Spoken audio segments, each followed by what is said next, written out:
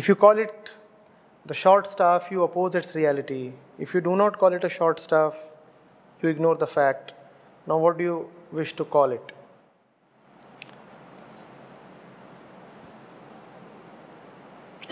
You have to call it both. You see, you are living as the bodied one. Hmm? That identification does exist for you. Just as your material body is a fact, you cannot ignore the fact of the short staff. Hmm? A short stick, a short cane, or something, the short staff that a monk carries. So you cannot say, no, this is not a short staff. It is. You have to respect the fact. But you cannot stop at the fact. It is a short staff only with respect to your body. How do you know it is short? Would a little ant call it short?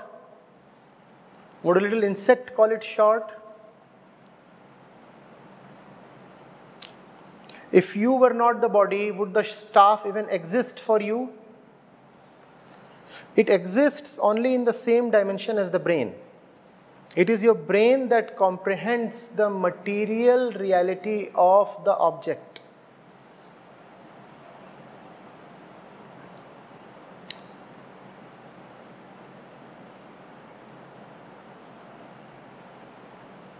Will any software work without its compiler?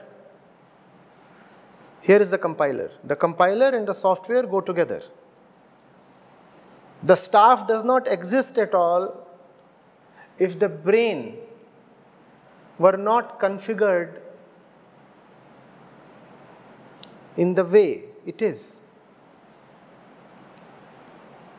So even as you accept the fact that it is a staff, you also know that it is a staff only with respect to me. If I keep saying it is a staff, it is a staff, it is a staff, it is a staff, what does that amount to? It amounts to constantly saying, I am the body, I am the body, I am the body. Because it is a staff only with respect to your body. Therefore, those who get stuck at the level of the fact are actually getting stuck at the level of the body. That's the problem with science. It keeps saying this exists, this exists, this exists. And surely it does exist. But this exists only with respect to my hand, my body, my comprehension, my senses, my brain. Right? So if I keep saying this exists, this exists, this exists, I'm continuously saying I am the body, I am the body, I am the body, I am the body. Therefore, whereas one has to respect the fact that this exists, be it a short staff or a white hanky, same thing.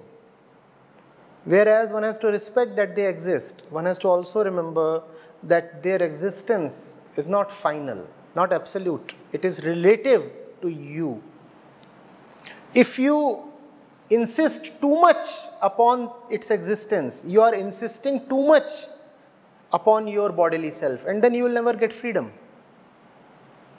So this is like your current reality, just as the body is your current reality, right? We are currently body identified.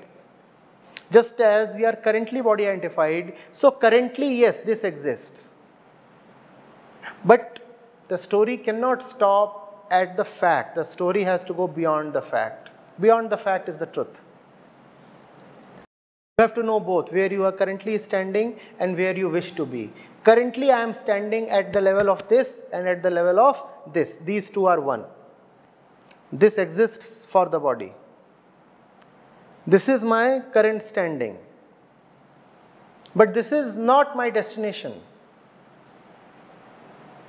A point must come where it exists only with respect to the body, not with respect to me. When nobody must remain to definitely and conclusively say this is a white hanky. Let this be a white hanky for the body. You have gone. You are somewhere else.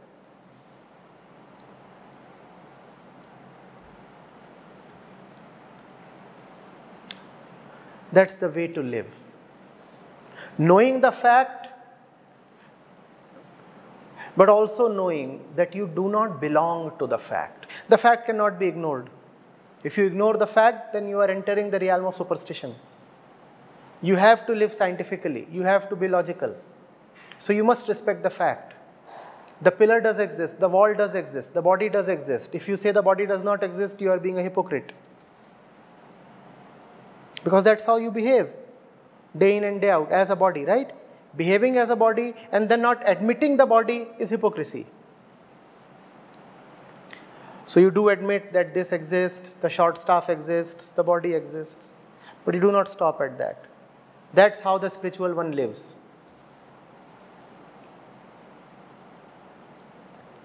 Knowing the world, seeing the world, acknowledging the world, but not belonging to the world, knowing fully well that his destination is somewhere else. And that does not mean that he is dismissive or disrespectful towards the world. I am repeatedly saying one has to respect the world. Otherwise, it would be hypocritical.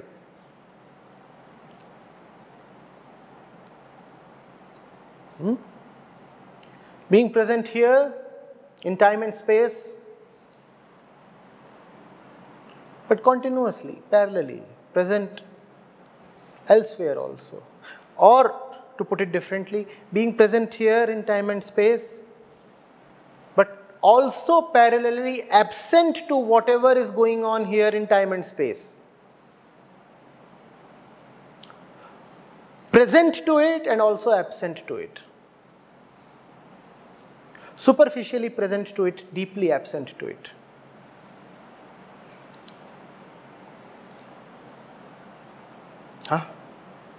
Superficially here, deeply somewhere else. Where? Nowhere.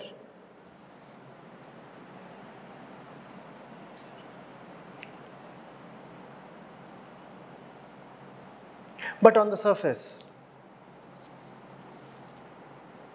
you have to be here. If you are not here, even at the surface, then that is not spirituality. Then you are a lunatic. The spiritual man is present to the world. He knows the difference between red and blue. He knows how to drive a car. He knows which road to take. He is present to the world. But deeply, he is absent. Deep within him is a point that does not know the world at all. Deep within him is a point that has no value for the world, that does not transact with the world at all.